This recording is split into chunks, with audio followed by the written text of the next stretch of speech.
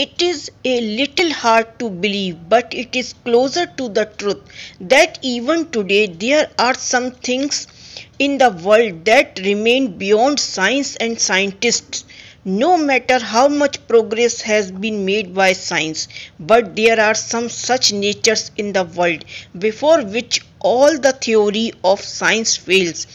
In this episode, today we are going to tell you about such a miracle of nature the mystery of which has not been uncovered till date. We are talking about the Fosse Dionne spring flowing in the state of Burgundy, France. The water of this spring was used by the Romans for drinking, while in the 17th century people used to bath in it.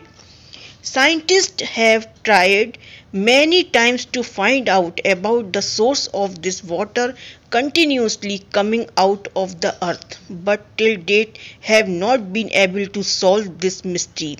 Where does the water in this spring come from? Local people considered this waterfall to be miracle of nature. From inside this spring, 300 liters of water keep coming from inside the earth every second. Not only this, more than 3000 liters of water per second starts coming out from here during the rainy season.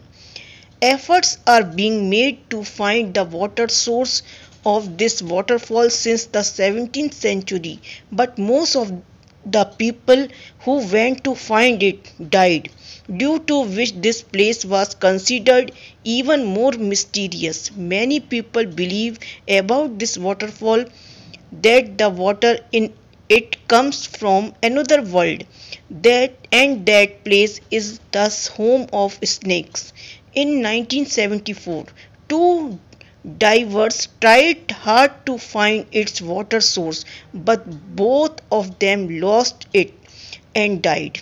After this, in the year 1996, a diver tried again and then something happened to him that no one got to know about him till date. A few years ago, a diver tried again and he came back halfway. Although many attempts were made to know the source of this spring erupting from the earth, but no one could succeed in this.